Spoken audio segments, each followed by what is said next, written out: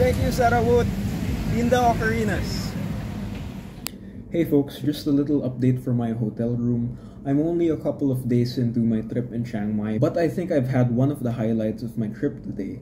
So I got to hang out with world-renowned ocarina maker Sarawut Bugkhuntod of Dinda Ocarinas. I'm sure you've heard of them. He makes ocarinas in all different shapes and sizes and keys and designs, with clay that's locally sourced here in northern Thailand, Chiang Mai. Uh, so what you just heard was one of the other instruments that he makes, which is a khlui, a traditional Thai flute. This was shortly after meeting Sarawut when I met up with friends to have dinner. I just couldn't wait to try it out.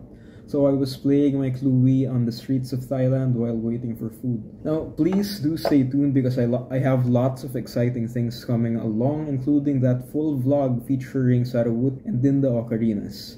Lots of exciting things apart from that khlui. I have lots of new ocarina from Dinda Ocarina that are just amazing, and I'll do my best to make music just as nice as the ocarinas themselves.